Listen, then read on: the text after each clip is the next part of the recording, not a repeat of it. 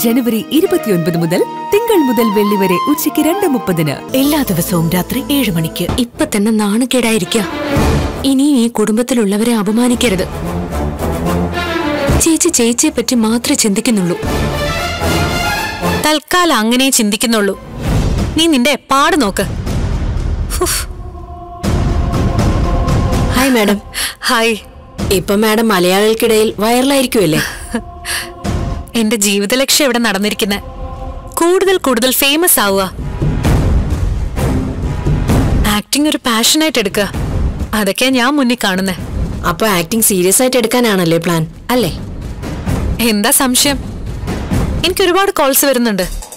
ഞാൻ ഇതുവരെ ആർക്കും പിടികൊടുത്തിട്ടില്ല. ഇപ്പോഴത്തെ ഡയറക്ടർ പല ഓഫറുകളും മുന്നിൽ വെച്ചിട്ടുണ്ട്. മറ്റുള്ളവർക്ക് ഞാൻ ഡേറ്റ് കൊടുത്തു കഴിഞ്ഞാൽ അത് അദ്ദേഹത്തിന് വിഷമാവില്ലേ? അതുമാത്രമല്ല ഒരു വാക്ക് പറഞ്ഞാ അത് പാലിക്കണമെന്ന് ആഗ്രഹമുള്ള ആളാ ഞാൻ.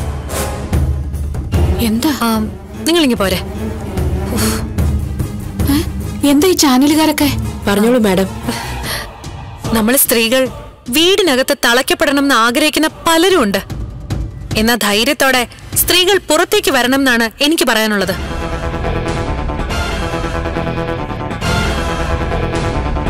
അതിന്റെ തുടക്കമാണ് ഇവിടെ നിങ്ങൾ കണ്ടത്. അനന്തപുരിയിലെ മൂർത്തി സാറിന്റെ കൊച്ചുമരുമകളായി മാത്രം ഒതുങ്ങിക്കൂടാൻ എനിക്ക് താല്പര്യമില്ല. എനിക്ക് സ്വന്തമായിട്ട് ഒരു അഡ്രസ് വേണം. എന്താ മോളെ ഈ കാണുന്നേ? അമ്മ വാ എന്താ ഇതിന്റെ പിന്നിലെന്ന് ഞാൻ പറഞ്ഞു തരാം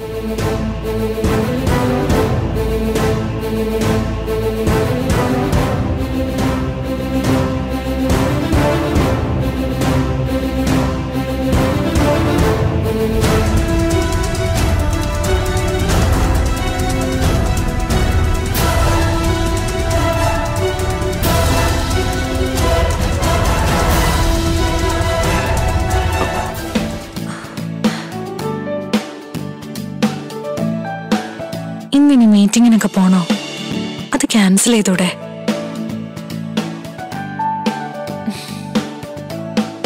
ഉറപ്പായിട്ടും. ഞാൻ നിനക്കൊപ്പം ഇന്ന് സ്പെൻഡ് ചെയ്യും.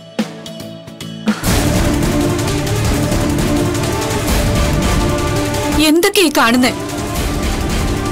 നിന്റെ മുത്തശ്ശൻ ഇതൊക്കെ കണ്ടു കഴിഞ്ഞാ എന്താ സംഭവിക്കുക എന്ന് ഞാൻ പറയേണ്ട കാര്യമില്ലല്ലോ.